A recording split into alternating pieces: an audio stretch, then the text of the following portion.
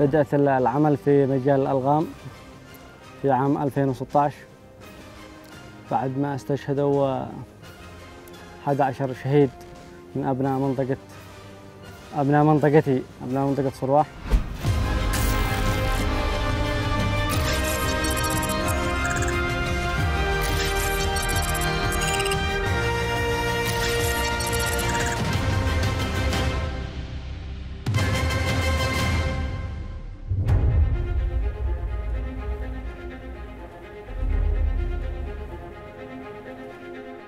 دخلنا مع المشروع السعودي مسام في عام 2018 شهر سبعة.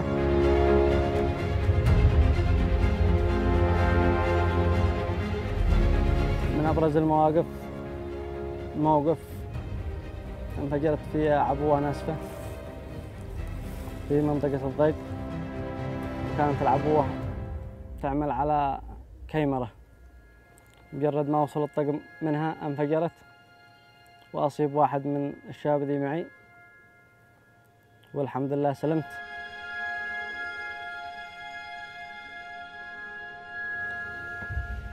كانت في بداية عملنا مع الجيش كان عملنا مخاطرة والآن عندما دخلنا مع مسام واستفدنا من الخبرات.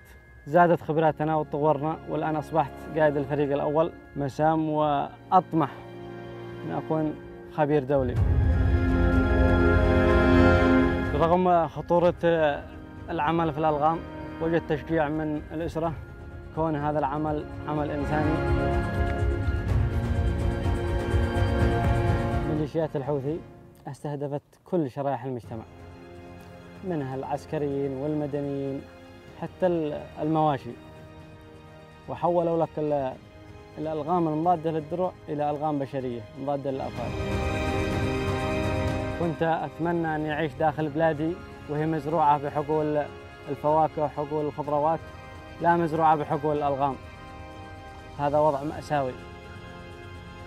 لكن أجبرتنا عليه ميليشيات الحوثي